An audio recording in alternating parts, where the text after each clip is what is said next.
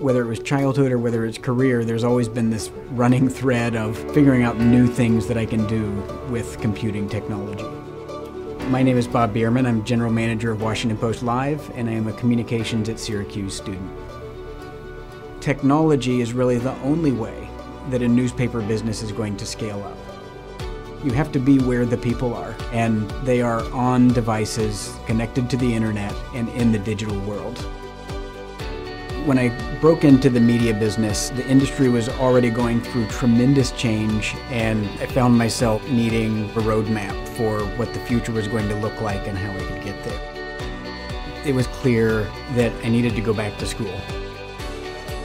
The Communications at Syracuse program gives me the roadmap that I'm looking for, and the Newhouse School name told me that this was the right kind of program for me to take for the type of lifestyle that I have.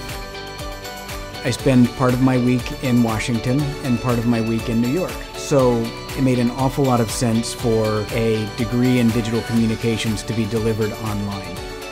The online program has given me the chance to interact with my classmates and makes me use the technology while I'm learning.